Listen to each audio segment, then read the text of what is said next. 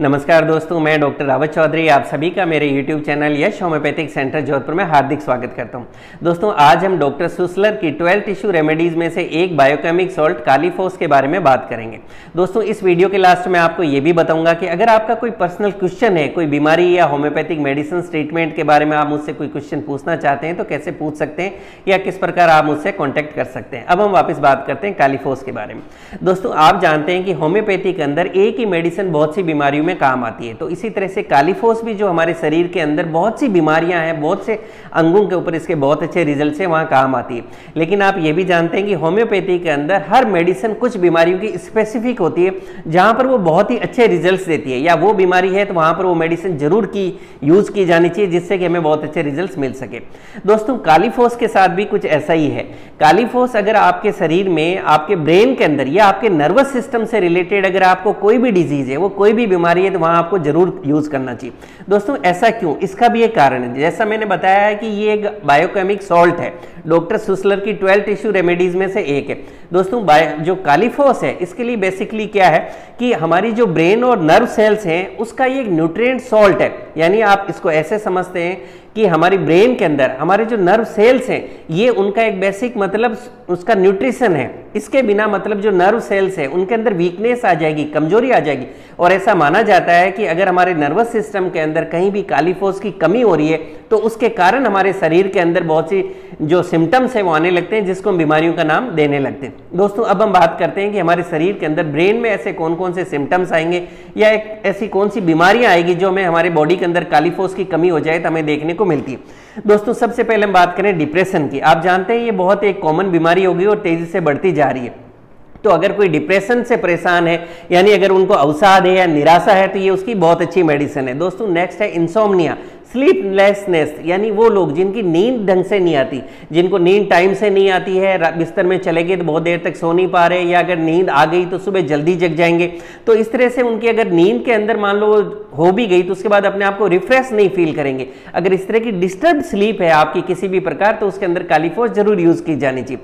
दोस्तों नेक्स्ट होता है सोमनाबुलिज्म यानी बहुत से लोगों के अंदर ये देखा जाता है कि जब वो रात में सोते हैं तो उनको पता ही नहीं चलता और नींद में उठ जाते हैं और उठ के और चलने फिरने लग जाते हैं, अपने रूम में आसपास में और घर में कई बार इधर उधर घूमने भी लग जाते हैं। अगर इस तरह का मेंटल डिसऑर्डर है तो वहाँ भी कालीफोस बहुत अच्छे आपको रिज़ल्ट देगी। दोस्तों नेक्स्ट है एंजाइटी या स्ट्रेस आप जानते हैं एंजाइटी एंड स्ट्रेस में क्या होता है कि बहुत ज़्यादा चिंता, मानसिक तनाव या आप कह सकते हैं कि बहुत ज़्यादा जिनको टेंशन रहने लगती है, उसके अंदर कालीफोस बहुत अच्छी मेडिसिन है। दोस्तों नेक्स्ट है किसी भी तरह का डर बने रहना। बहुत से लोग आप देखेंगे कि वो हर समय एक तरह के डर में रहेंगे, उनको फियर रहेगा। कई बार और अक्सर ये डर जो होता है, झूठा होता है। मतलब एक फॉल्स डर, सकीपन सा एक मन में बना रहता है। कई लोगों को रोने की बहुत इच्छा होती है। हर बात पे वो रोने लग जाएँगे, उनको रोना जल्दी आएगा। ऐसे केसेस के अंदर अगर आप काली फोर्स यूज़ करते हैं तो आपको बहुत अच्छे रिज़ल्ट देखने को मिलेंगे। दोस्तों, वो लोग जिनमें लॉस ऑफ़ मेमोरी है, यानी वो लोग जो कि याददाश्त जिनकी कमज़ोर हो गई अगर वो कुछ पढ़ते हैं स्टूडेंट्स में भी देखने को मिल सकता है, बहुत से लोगों में भी, कि अगर उनको पहले कोई चीज़ याद है और जब वो लिखने बैठते हैं तो अचानक भूल जाते हैं मुझे क्या लिखना था, वर्ड्स भूल जाते हैं सेंटेंस भूल जाते हैं, कई बार कोई काम है उसको भूल जाते हैं, किसी से मिले तो उसका नाम भूल गई बहुत सी चीज़ें जो मतलब अगर लगता है कि लॉस ऑफ़ मेमोरी हो गई, याददाश्त बहुत कमज़ोर हो गई है तो वहाँ हमें कालीफोस ज़रूर यूज़ करनी चाहिए। दोस्तों, इसी तरह से जो ओल्ड एज होती है तो नेचुरली एज एक नॉर्मल प्रोसेस होता है कि जैसे जैसे हमारी एज बढ़ती है और ओल्ड एज के अंदर हमारी बॉडी की सारी जो सिस्टम्स हैं या सेल्स हैं, उनमें वीकनेस आने लगती है। तो उस टाइम भी हमारे जो नर्व सेल्स हैं, उनके अंदर कालीफोस की डिफिशियंसी होने लगती है, कमी होने लगती है, जिससे जो आप कह सकते हो कि बुढ़ापे के अंदर होने वाली अगर याददाश्त की कमज़ोरी है या अगर मानसिक रूप से कमज़ोरी महसूस कर रहे हैं तो वहाँ पर ये हमें ज़रूर यूज़ करनी चाहिए। इसी तरह से वो लोग जो कि बहुत ज़्यादा मेंटल वर्क करते हैं, ये स्टूडेंट्स हो सकते हैं डॉक्टर्स हो सकते हैं इंजीनियर्स हो सकते हैं, और भी कोई भी आदमी जिसका कि हर टाइम मानसिक काम ज़्यादा करता है, उसके कारण अगर उनको मानसिक थकावट रहने लगी, जिसको हम ब्रेन फैक भी कहते हैं साइंस की वर्ड के अंदर तो ये उसकी बहुत अच्छी मेडिसिन है। दोस्तों, वो लोग जिनका मूड अच्छा नहीं रहता, हर टाइम जिनको थोड़ा गुस्सा जल्दी आता है, चिड़चिड़ापन, क्योंकि एक नॉर्मल कंडीशन नहीं है। यानी कुछ ना कुछ तो गड़बड़ है, इसीलिए आप चिड़चिड़े हो जाते हो। तो अगर इस तरह की कंडीशन है, चिड़चिड़ापन आ रहा है लूज टेम्पर है, आपका मूड अच्छा नहीं रहता मूड स्विंग्स हो रहे हैं तो वहाँ भी कालीफोस एक बहुत अच्छी मेडिसिन आपके लिए है। दोस्तों, इसी तरह से वो लोग जिनको गुस्सा ज़्यादा आता है या वो लोग जिनको किसी भी कारण का मानसिक कोई दुख है मेंटल शौक हुआ, जिसके कारण कि वो हर टाइम दुखी रहने लगे मूड ही हर टाइम मतलब डाउन रह रहा है लो फील कर रहे हैं तो वहाँ पर कालीफोस एक बहुत अच्छी मेडिसिन है। दोस्तों, ये बच्चों के लिए भी बहुत अच्छी मेडिसिन है। वो बच्चे, जैसे मैंने बताया कि जो बिस्तर में रात में पेशाब कर देते हैं, उनको पता नहीं चलता। छोटी एज में तो ठीक है बट कई लोग थोड़ा बड़े हो जाते हैं तो भी ऐसा करने लगते हैं। और बहुत से बच्चे होते हैं जो नाइट में सोते हैं, लेकिन जब वो सोते हैं तो नींद में एकदम डर के जगेंगे। तो ऐसे बच्चों के नेचुरली ब्रेन के अंदर कुछ ना कुछ ऐसा चल रहा होता है जो उनको नाइट में सोने नहीं देता और वो एकदम डराता है, उनको नींद में और बच्चे एकदम डर के जाग जाएँगे। तो वो लोग बच्चे जिनकी इस तरह की हिस्ट्री रही है कि नींद के अंदर डर के जाग रहे हैं तो वहाँ पर एक बहुत अच्छी मेडिसिन है, उनको मदद कर सकती है। दोस्तों, वो लोग जिनमें की कॉन्फिडेंस की कमी है लैक ऑफ़ कॉन्फिडेंस है कि नहीं? तो वहाँ पर अगर आप कालीफोस का यूज़ करते हैं तो आपको बहुत अच्छे रिज़ल्ट देखने को मिलेंगे। दोस्तों, ये माइग्रेन की भी बहुत अच्छी मेडिसिन है। माइग्रेन आप जानते हैं कि सिर दर्द, जिसके अंदर रूटीन के अंदर आधा सिर दर्द राइट का हो सकता है लेफ़्ट का हो सकता है, उसके साथ आपको जो है नोजिया वोमिटिंग के सेंसेशन वगैरह आ सकते हैं। तो अगर माइग्रेन रहता है तो वहाँ भी एक बहुत अच्छी मेडिसिन है। दोस्तों, इसी तरह से रिलीजियस मेनिया की भी एक बहुत अच्छी मेडिसिन है। अगर रिलीजियस मेनिया है, किसी को बहुत ज़्यादा इस तरह की प्रॉब्लम है, वहाँ भी ये यूज़ कर सकते हैं। दोस्तों, इसी तरह से मैंने बताया कि ये ब्रेन के साथ नर्वस सिस्टम का भी बहुत अच्छा टॉनिक टॉनिक है। आपके शरीर के अंदर अगर नर्वस सिस्टम से रिलेटेड बॉडी में कहीं भी कोई बीमारी आ रही है, जैसे मैं आपको एग्ज़ाम्पल दूँ, आपकी बॉडी में कोई भी तरह का पैरालाइसिस या आप जिसको लकवा कहते हैं, अगर ऐसे आपको डिज़ीज़ है या सिम्टम्स आ रहे हैं तो वहाँ अगर आप कालीफोस यूज़ करेंगे तो बहुत अच्छे रिज़ल्ट आपको देखने को मिलेंगे। दोस्तों, अब हम बात करते हैं इसकी डोज की। देखिए डोज कालीफोस का मैं बताऊँ कि इसकी जो मार्केट में आप देखेंगे कि जो बायोकेमिक सॉल्ट है, उसकी हम बात कर रहे हैं तो थ्री एक्स सिक्स एक्स और ट्वेल्व एक्स में अवेलेबल होता है। और जितना लो पोटेंशियम हम यूज़ करते हैं, उतने अच्छे रिज़ल्ट मिलते हैं। लेकिन जो कालीफोस है, इसके बेस्ट रिज़ल्ट से वो देखा गया कि सिक्स एक्स पोटेंसी में आपको मिलते हैं। तो बेटर है कि आप हमेशा कालीफोस को सिक्स एक्स पोटेंसी में आप यूज़ कर सकते हैं।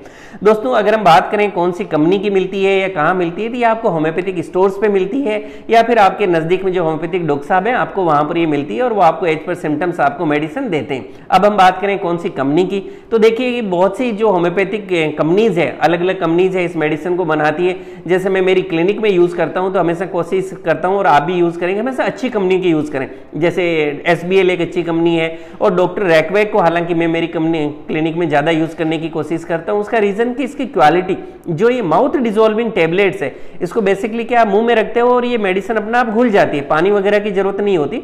मुँह में रखिए या आपको जो है फटाफट आपके मुँह में डिजोल्व हो जाती है। तो इसकी जो माउथ डिजोल्विंग है। ये इसका बहुत अच्छा अगर आप अच्छी कंपनी का प्रोडक्ट यूज़ कर रहे हो तो ये आपको एक अच्छा उसके अंदर आपको मतलब क्वालिटी देखने को मिलेगी। और दोस्तों, अगर हम इसकी बात करें डोज की तो डोज के अंदर आपको क्या करना है, इसकी चार चार टेबलेट आपको दिन में तीन बार लेना होता है। यानी चार टेबलेट आपने सुबह एक बार ले ली, चार टेबलेट आपने दोपहर में ले ली, चार टेबलेट आपने नाइट में ले ली। कुछ समय बाद जब आपको अच्छा लगने लगे तो आप तीन बार की जगह इसको सुबह शाम दो बार कर सकते हैं। और उसके बाद में इसको आप दिन में एक बार ले सकते हैं और धीरे धीरे इस तरह से इस मेडिसिन को बंद किया जा सकता है। दोस्तों, इस मेडिसिन की पैकिंग की बात करें तो यूजली जैसे मैं बात कर रहा था डॉक्टर रैकवे की पैकिंग जो यूज़ करता हूँ तो सबका एग्ज़ाम्पल तो यहाँ नहीं दिया जा सकता। उस कंपनी की जो पैकिंग होती है, वो लगभग ट्वेंटी ग्राम का एक पैकिंग आता है और उसकी कॉस्ट एज ऑन टूडे अगर मैं आज बात करूँ तो लगभग वन सिक्सटी की एमआरपी में ये अवेलेबल होती है। तो ये इस तरह से अवेलेबल है। और दोस्तों, इस मेडिसिन के साथ में अगर बहुत से कई बार पूछते हैं कि, सर, क्या परहेज रखना चाहिए? तो कोई भी होम्योपैथिक मेडिसिन अगर आप ले रहे तो आप देखें कि एक तो उसके 30 मिनट्स पहले और बाद कुछ भी खाना पीना नहीं होता। लेकिन आप पानी पी सकते हैं, पानी का कोई परहेज नहीं होता। बट और सेकेंडली आप कभी भी कोई होम्योपैथिक मेडिसिन ले रहे हैं तो तेज स्मेल वाली चीज़ों से आपको बचना चाहिए। जैसे कॉफ़ी है, कच्चा प्याज है लहसुन है, हींग है, इन चीज़ों से आपको बचना चाहिए कि आप इनको कच्चा कुछ भी आप नहीं लें। और मेडिसिन जब भी ले रहे हैं तो गार्गल या आप कुल्ला करके ले सकते हैं। दोस्तों, अब हम बात करें कि अगर आपको कोई पर्सनल क्वेश्चन मुझसे पूछना है तो आप किस तरह से पूछ सकते हैं। देखिए, आप जानते हैं कि मेरा जो है रेगुलर में वीडियोज़ अपलोड करता रहता हूँ, होम्योपैथी की मेडिसन्स और बीमारियों से रिलेटेड। तो अब अगर मान लीजिए आज आप इस वीडियो को देख रहे हैं ट्वेंटी फिफ्थ ऑफ़ जून 2020 को, और आज ही आपको कोई क्वेश्चन पूछना है तो आप इस वीडियो के कमेंट सेक्शन में जाके मुझसे क्वेश्चन पूछ सकते हैं। दोस्तों, ये जो आप मुझसे कमेंट सेक्शन में क्वेश्चन पूछोगे, इनका आंसर मैं आपको नेक्स्ट डे यानी 26 जून को जो आपका सवाल एपिसोड आएगा, जो कि 46 नंबर है, उसके अंदर मैं आपको आंसर देने की कोशिश करूँगा। और वहाँ पर उस टाइम जब मैं वीडियो शूट कर रहा होता हूँ, तब तक जितने भी क्वेश्चंस आए हुए मेरी कोशिश होती है कि मैं उन सब का वहाँ कमेंट सेक्शन में आपको आंसर दे दूँ। बहुत से क्वेश्चंस होते हैं, कई पर्सनल क्वेश्चन होते हैं जिनका पब्लिक प्लेटफॉर्म पे आंसर देना अच्छा नहीं लगता, मैं वहाँ कमेंट सेक्शन में भी आंसर देता हूँ। और इस वीडियो को आप बाद में कभी देख रहे हैं तो उस टाइम का जो लेटेस्ट वीडियो उसके कमेंट सेक्शन में अगर आप जाके क्वेश्चन करेंगे तो उस टाइम मैं आपको आंसर देने की कोशिश करूँगा। या कोई लाइव क्लिनिक चल रहा हो तो आप उसमें भी मेरे से उसको पूछ सकते हैं। दोस्तों, इन सब के साथ में मैं आपको ये भी एडवाइस करूँगा कि अगर आप होम्योपैथिक फ़ील्ड से जुड़े रहना चाहते हैं नॉलेज लेना चाहते हैं तो आप मेरे YouTube चैनल को भी सब्सक्राइब कर सकते हैं। आप जानते हैं कि मेरे YouTube चैनल पर मैं बहुत सी बीमारियों के बारे में बात करता हूँ होम्योपैथिक मेडिसिन के बारे में बात करता हूँ, और अगर आप अपडेट चाहते हैं तो मेरे यूट्यूब चैनल को आप सब्सक्राइब करें और बेल आइकन ज़रूर दबा लें, जिससे मैं जैसे ही कोई वीडियो डालूँ, आपको नोटिफिकेशन मिल सके। दोस्तों, उम्मीद करता हूँ कि आज हमने कालीफोस के बारे में बात की। एज ए ब्रेन और नर्व टॉनिक जो हमने बात की, ये वीडियो आपको पसंद आएगा और आपके लिए लाभकारी साबित होगा। इसी तरह से मुझसे जुड़े रहने के लिए मेरे YouTube channel Yash homeopathic centre Jodhpur को लाइक करें शेयर करें सब्सक्राइब करें और बेल आइकन ज़रूर दबाएँ, जिससे मैं जैसे कोई वीडियो डालूं आपको नोटिफिकेशन मिल सके। Thank you